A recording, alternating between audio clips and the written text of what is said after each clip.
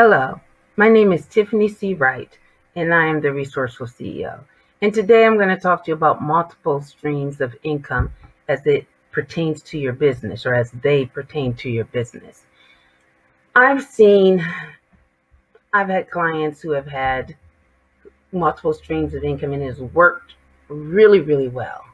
And I am a big believer in multiple streams, meaning you have different, you offer different products or different services. You can partner with other entities to provide services or add on products or add on services to your existing product line or service line. Um, that's what I know when I worked for a tech company, we partnered with consulting firms and they upsold our um, software. And, but the main point about multiple streams of income is maximizing the services that your company can provide, but still being highly focused on your primary markets. So, but sometimes what I see is that companies start to offer all kinds of things and they're trying to be a jack of all trades. And when you are a jack of all trades, you're not good at anything, really. You're just mediocre. You're mediocre at things. So what I always tell people or companies is as you're starting out, you start with you start out with one product or one service or a couple of products and a couple of services focused on a specific market and then you expand from there. You can either add products and services or you can you can increase the realm of, of companies or the scope of companies that you actually serve.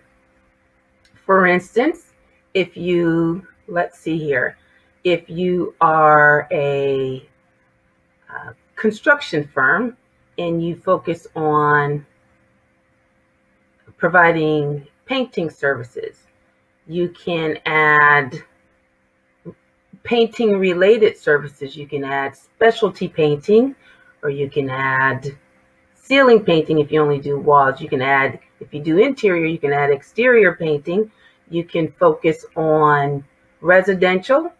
You can focus on new home builds, or you can focus on commercial. And then if you focus on commercial, you can tailor that to schools, apartment buildings, office buildings, whatever. But if you say, I do it all, it's just not going to work.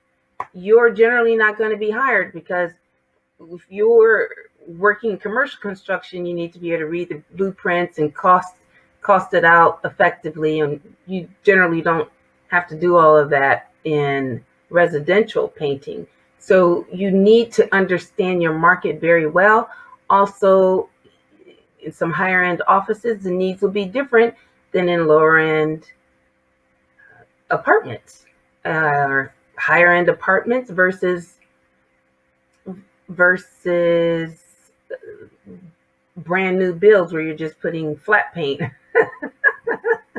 you're just putting flat paint everywhere. So I'm just illustrating how important it is for you to focus on a particular market segment or particular product or service and then add from that. I've seen companies where like, okay, we'll do drywall. Oh, we'll also do tile. We'll do this. If you're going to be a general contractor, be a general contractor, have a small staff, and out outsource or subcontract the rest.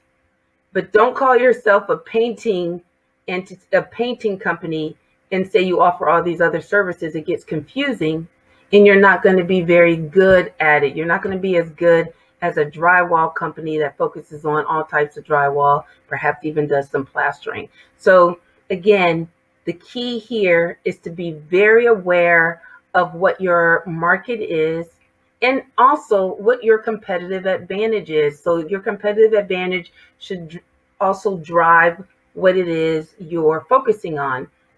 If your competitor advantage is customer service and you're a painting company and you do all these and you you find people to do all these different things either as contract subcontractors or employees, then maybe you should make the move to become a general contractor, get properly licensed, and then uh, focus on differentiating yourself from other contractors and building relationships with subcontractors and uh, by focusing on high levels of customer service and quality delivery. So you become more of a sales and marketing kind of entity with superb customer service and less of a, an actual the actual service provider because you're outsourcing so much of that.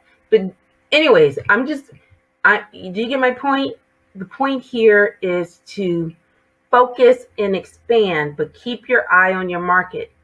And then if a service and then track the service or product. If it's not producing the margins that you want, either raise your pricing or cut it. This is Tiffany C. Wright. I am the Resourceful CEO.